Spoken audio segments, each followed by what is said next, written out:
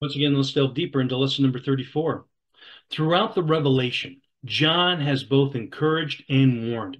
We certainly need encouragement as we live in Babylon. It's so hard to live a no compromise life, not getting caught up with the economic tra- traps of, of Babylon or, or her approval and everything egoism.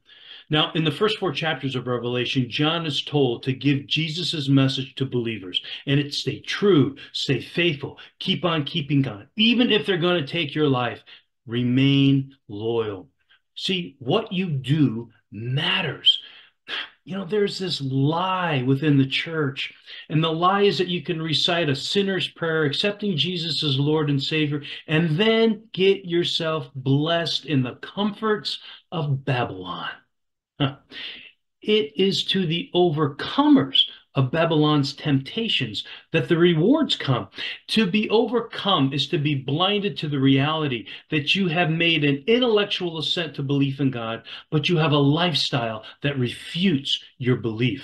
Jesus told us the parable of the wise and the foolish builder. He said, Why do you call me Lord, Lord, and not do what I say? I will show you who it is like who comes to me and hears my words and puts them into practice. He's like a man who builds his house up and dug down deep and laid it on a rock foundation. When a flood came, the torrent struck that house, but could not shake it because it was well built. But the one who hears my words does not put them into practice is like a man who built his house on the ground without a foundation. The moment the torrent struck that house, it collapsed and it was a destruction that was complete.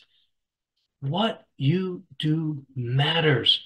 And if you miss this truth, then one day you'll stand before a great white throne.